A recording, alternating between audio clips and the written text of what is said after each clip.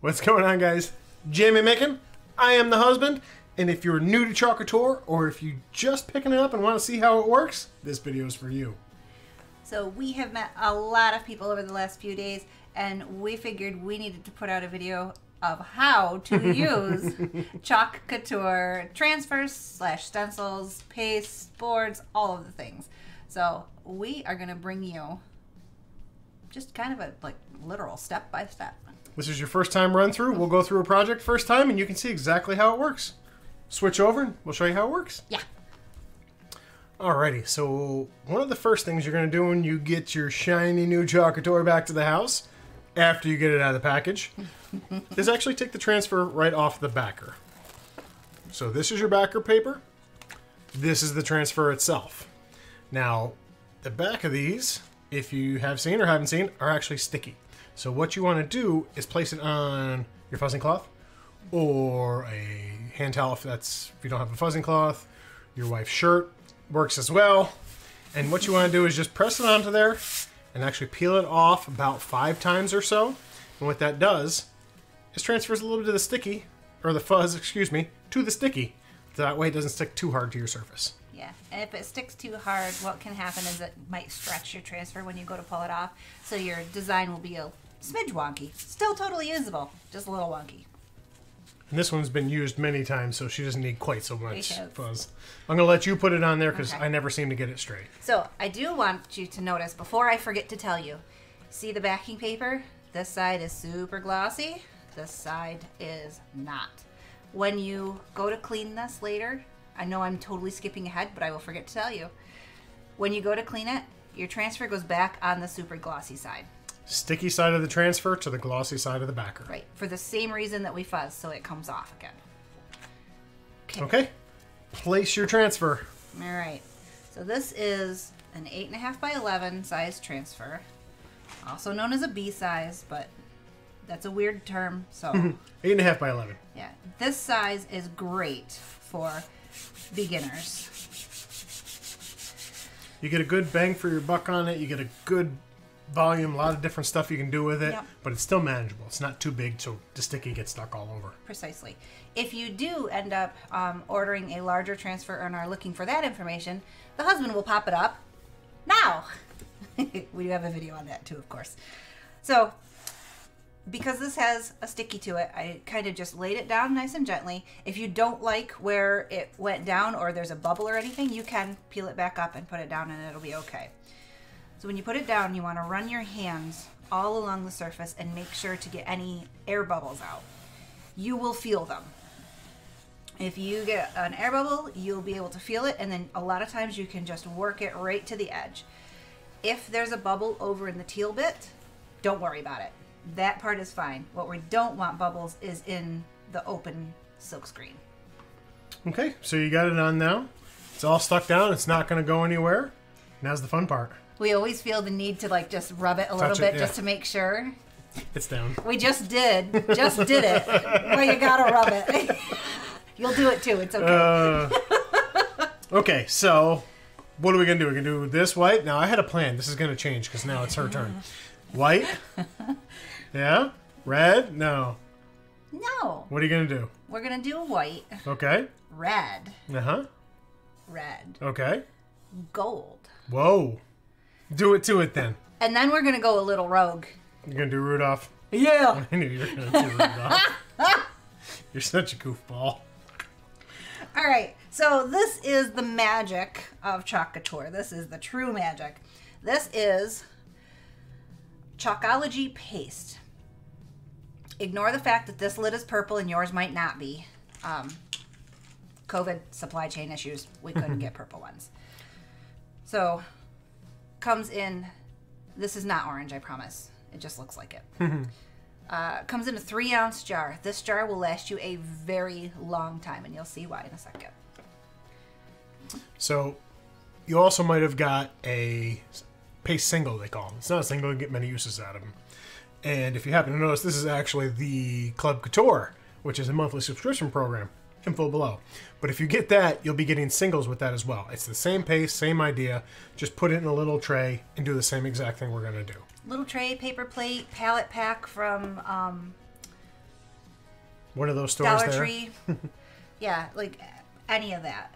Um, so, yeah, if you get through your project and you absolutely love it, I would suggest checking out Club Couture. Um, and then, of course, you have your squeegee. Depending on what you got, either from us or from the website, this one is a mini, this one is a small. I know it's kind of a weird naming system, but there is one bigger than this. You don't need to look at that yet. It's a monster. So, if you got a Try Me kit or a bundle from us from a, a craft show or just from online, you will have this size. These are very, very versatile. Um, they are not available for individual sale on our website, so you would probably have ended up with this if you just placed an order, which is also still a great size. And I'm actually going to use both of them because they have good purposes.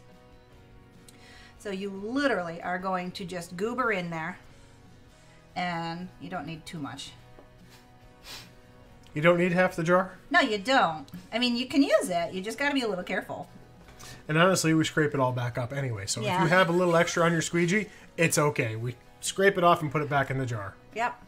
So, you the easiest way to hold a squeegee, and this is what I tell um, Candace's daughter: put your thumb on the circle, your two fingers in the behind, and then just push. You use these two fingers on the back to apply pressure, and just kind of push it down. I know you're probably all adults and know how to use a squeegee. Say, But- it sounds technical. It's really not. Yeah. I Just mean, try it. These hands can do it. So The only reason I mentioned the, put your thumb on the circle is because it is angled, which you probably can't tell now. But there's a bit of an angle, so there is, you can see the um, angle when it's not used. yeah. So you see all of the paste that I used, and we're going to scrape up all the extra and put it back in the jar because remember I said you, these jars go forever. So you're going to pull up as much paste as you can, and you should be able to see the design underneath. You can read the letters or whatever the design is Yep. straight through. Okay, now Now I'm going to do the reindeer. you're gonna do reindeer. Okay. Yep. This guy here, you may find at some point you need something with a little more detail to it. This is the multi tool. This end is great for getting into the jars, and that was almost timed. Mm-hmm. for getting into the jars and scraping out every last bit of paste, it gets right around those edges and gets it all out. And then this end is you use it just like a pencil, which is exactly what I'm going to do with our shimmer gold. So the shimmers have a little bit of a different texture to them. They're kind of grainy. But we just mush it. And a lot of times with the shimmers too, if you go through and do your first coat, then as you're going, you'll see she'll go back over and do it again because the shimmers have almost, and it doesn't It's a sound really, quite right. really fine gl- glitter. glitter exactly, and so you want to push that glitter through the screening. Right. So just a couple coats. Yep. We'll still pull up enough so that it you can still see the design underneath, yep. but we're just putting it on so that it mushes in. Because that is totally the technical term. Mush it in. And you might be able to see I got a little of the gold on the red, but it's not in the letters, so it's a okay. And you know what? Even if it is in the letters, who cares? Because that one almost was. I was gonna say Jeez. you don't need to show them that much. I was gonna say we don't need to demo everything. there. Okay. Scrape it off like we did in the red. Yep. Put it all right back in the jar. Well, obviously not all of it, but most of it. All right. A little bit of white. I went a little fancier than just white. Oh, oh. I used oh, the shimmer frost. another shiny one. Somebody in shiny things. I, Yeah. totally you, not me. See, and this is why I like the big squeegee. You can just, when you're working with big, wide open areas, you can really make make some progress. know. You can do a lot of chalking. Oh, you know what we should have did? What's that? Put a little bit of red in there. Still can Still use your. can. All right, we're gonna show you a little bit of level like 1.5 chalking. this is a really But it's finger painting, so I mean, Yeah. you really can't go to 1.1, 1.2. like, it's not technical. You're literally taking your finger and just smishing around. So what this is, we're gonna do a little ombre, and um, it's going to be super impressive. Like you can do it, and it doesn't seem like you really did anything, and then your friends are gonna go, "Whoa, how did you do that?" And you're gonna be like, "Well, I'm awesome." so I left a lot of the white on, so you do end up losing a little bit of product doing this way, but it's worth it, I promise. So we're going to go back into the red, and I'm gonna put a line of red right through here. Line of red. Now don't stick that back in your jar. It'll be contaminated. Right. And then finger painting.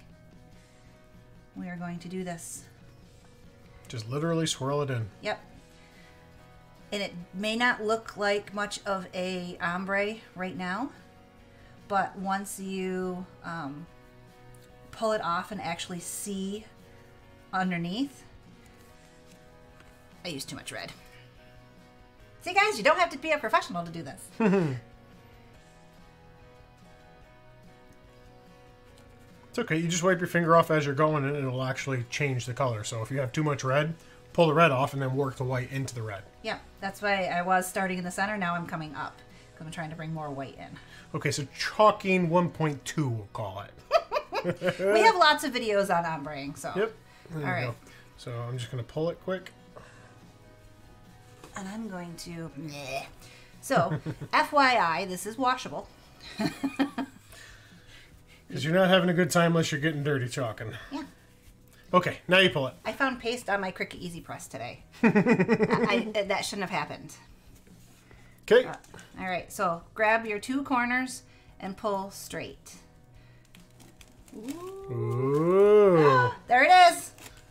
There's your super cool ombre that was really easy and looks really complicated. That is Pinterest worthy if I ever saw.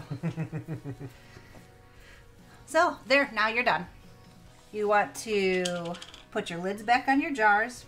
If you have um, the singles, you probably should have told you this. So, a paste single actually does way more than one project. So, squeeze out just a little bit, and you can always pull, take more out. Can't put it back in. Uh, so, whatever's left over, just kind of fold the top down and seal it with like a chip clip. Just roll this Yes. down and then clip it on the top. And if you have extra left in a little container, you can use some of that press and seal saran wrappy stuff. Cover the technical terms. Cover that over and it'll stay good for a long time. Yeah. The other thing is too, when you're going to wash this, just take your transfer over to the sink, plop it in the sink, and literally just wet it down. Use a soft cloth or um, a sponge if you have a sponge, or if you got a board eraser, use the board eraser. Works really good on cleaning these off. Yeah. So the border erasers are a Couture product. Okay. Um, the board erasers are a Chalk Couture product that's found in the accessories, along with all of the squeegees and different little little things. So, there's your super cool, very easy, very simple walkthrough on your first chalk project. So, trust me, you can do it. You know what the best thing is? If you mess it up, wash it off, start over. Yeah. So wash it with just water. You're good to go. If you are interested in using our products on wood or metal or glass or anything, just reach out to us. We're more than happy to walk you through the steps on that. bunch of tips and tricks and everything. And if this is not your first time chalking and we forgot some important tips, it happens. Throw them down below so everybody can figure them out together. So, Awesome, guys. Thanks for coming to check it out. Good luck with your first project, and make sure you send us a picture on social media so we can see it. Yes, please. Bye.